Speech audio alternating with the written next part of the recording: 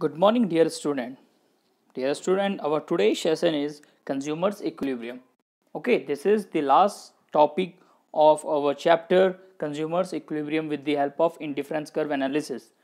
Dear student, in this part we will understand how consumers equilibrium is achieved with the help of indifference curve analysis okay which you also known as IC curve analysis dear students we all know that consumers equilibrium refers to the point where consumer get the maximum satisfaction by spending his given income on the prevailing market price of different goods and services. It simply represents our consumers equilibrium. So the basic point here you have keep to mind is the maximization or maximizes his satisfaction by the consumer. So this is the core point of the consumer equilibrium. Okay student now if we uh, if we start with the if you, if you think from a uh, indifference curve point of view then there are two conditions which must be satisfied by a consumer to fulfill the condition of consumer's equilibrium. These two points are the first one mrs of xy equals to px upon py now this mrs you already studied about this MRS which is marginal rate of substitution of XY commodity. It is basically the slope of indifference curve. When the slope of indifference curve equals to Px upon Py. Now this Px upon Py is the slope of price line or budget line. You all are familiar with the concept of budget line. So when the slope of indifference curve is equal to the slope of budget line okay then we can say that a consumer can reach consumer equilibrium point. So this is our first condition. Okay and we and we can see this condition with the help of a simple diagram like you all are familiar that suppose this is the graph. In this graph this is our budget line. You all are familiar that this budget line the formula of the slope of budget line is px upon py so when the slope of this budget line is equal to the slope of indifference curve. It means this is our indifference curve. So when the slope of budget line is equal to the indifference curve the point where they both meet like this point. So this point is r point. So r point is the point where the slope of budget line which is px upon py is equal to the slope of indifference curve like the slope of indifference curve which is m r as marginal rate of substitution. Okay dear student. So then the slope of budget line this budget line is equal to the slope of indifference curve then we can say a consumer is at a point of equilibrium.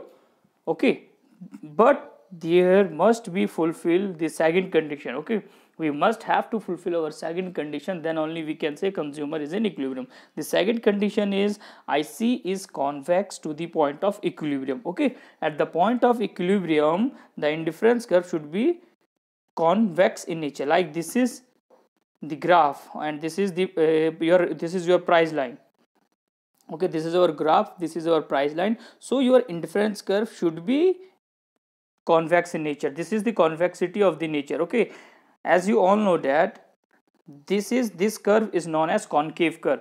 Always keep in mind this curve is known as concave curve. Okay? And this curve is known as convex curve. So the indifference curve should be always in the shape of convex curve not in the shape of concave curve or not in the shape of straight line like this or like this. Okay? So we must have fulfilled these two conditions so that consumer can reach the point of equilibrium. Okay student now move to our next point, next part which is graphical presentation of consumer equilibrium.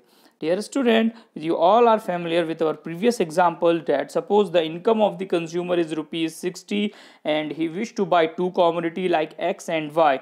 As you all know that the two commodities is essential both uh, in the but in the budget line we studied that it is this uh, in budget line uh, we shows this the combination of two goods in the indifference curve. We studied that. We show the combination of two goods. So two commodities the uh, uh, so two commodities are very essential or important okay for uh, for plotting or for um, representing the condition of consumer equilibrium.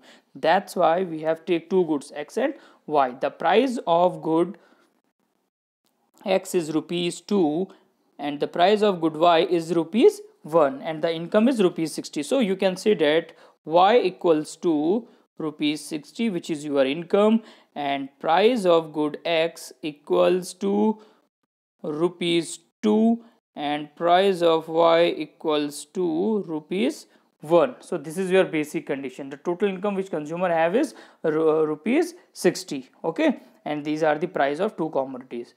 Okay student now move to the next side. Okay and for consumer equilibrium we have to satisfy these two condition. One marginal rate of substitution of xy equals to px upon py second ic is convex to the origin. Now let us explain with the help of diagram. Okay in a state of equilibrium the consumer buy 15 unit of good x and 30 unit of good y. Then he is maximizing his satisfaction. Now 15 unit of good good x it means there is 15 unit of good x price is rupees 2 plus 30 unit of good y price is rupees 1 so 15 into 2 30 and 30 into 1 30 the summation is 60 and we know that our consumer has rupees 60 so this is the best combination where a consumer can reach the point of of uh, equilibrium. So we can say that okay 15 unit of good x and 30 unit of good y. The combination is rely on this point. So this is the best point for the consumer equilibrium. Okay now we can see that we in this diagram we have pq like we have uh, P and Q this is our uh, price line or you can say your budget line. P and Q is your budget line like this and IC is your indifference curve. You can easily see in the diagram. You can see both both the curve is uh, indifference curve is tangent at the budget, uh, budget line which is at point E. So we can see that at point E our marginal rate of substitution of xy equals to price of x good divided by price of y good which is known as slope of price line. So we can say that slope of indifference curve is equals to slope of price line. Okay dear student. So E is the point of equilibrium is the point of consumer equilibrium. Here our two condition our basic two condition is satisfied. Our first condition like marginal rate of substitution of xy equals to px px upon py which is fulfilling here. And second point is ic indifference curve is concave. Uh, sorry indifference curve is convex in nature. So we can say that our indifference curve is convex in nature and we can easily get a price line and our indifference curve touches that price line in this particular diagram.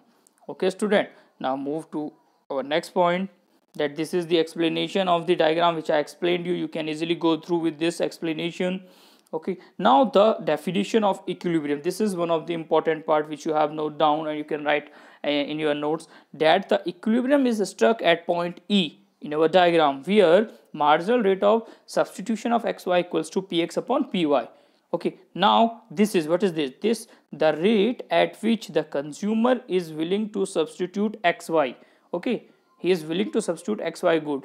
Given his taste and preference coincides okay coincides with the rate at which market allows the consumer to substitute xy this is important part. Like first part in the first point consumer is willing to substitute okay? As a consumer i am willing to substitute xy good okay? Second market should be allowed okay? The rate at which the product is uh, you know the the rate at which the product have so the market allows the consumer. So these are the two main things which we have keep in mind. Then only we can achieve or this condition. Okay? Consumer is willingness to substitute xy and market allows the consumer to substitute xy good. So okay? So at point e the consumer is sacrifices 2 unit of y. 2 unit of y for 1 unit of x because the ratio of px upon py is 2 raised to 1 we all know that the price of good x is 2 rupees price of good y is 1 rupees. That's why price of x divided so we can say that price of x divided by price of y which is 2 rupees divided by 1 rupees. Okay so we can easily get the price ratio like this. Okay dear student. So this is our consumer equilibrium. Consumer is achieving maximum satisfaction by fulfilling these two conditions. These two conditions we can easily understand with the help of a diagram that in this diagram all the two conditions is satisfied. You can easily explain this diagram. Okay student. Now these two conditions further explained in these point okay you can uh, it, it it is up to you that if you wish that you can explain these point uh, both individually or otherwise you can uh, otherwise you can plot simply this curve okay this diagram and you can explain both the points in a single diagram. It's up to you whether you can explain all your points your both the points in the same diagram or you can explain both the points separately like this okay. So it's your choice. Like in the first condition that the uh, rational behind condition of uh, consumers. The first is what, what are the reasons? Okay in this part we will explain the reasons. We will go we will go to study you know every point in deep. So in this part we study every point in deep. The first point is the first condition. You you all are familiar with the first condition that mrs which is marginal rate of substitute of xy equals to px of py which is known as slope of indifference curve equals to slope of price line Okay student, the consumer will strike his equilibrium only when MRS marginal rate of substitution of xy equals to px upon py because at no other point there are different combinations he can get the maximum satisfaction. Dear student in this diagram you can see that we have a diagram. We have the price line which is pq pq is our price line. We have three indifference curve. Ic1 IC2 and IC3 and from the uh, properties of indifference curve you all are familiar that higher the indifference curve higher the level of satisfaction.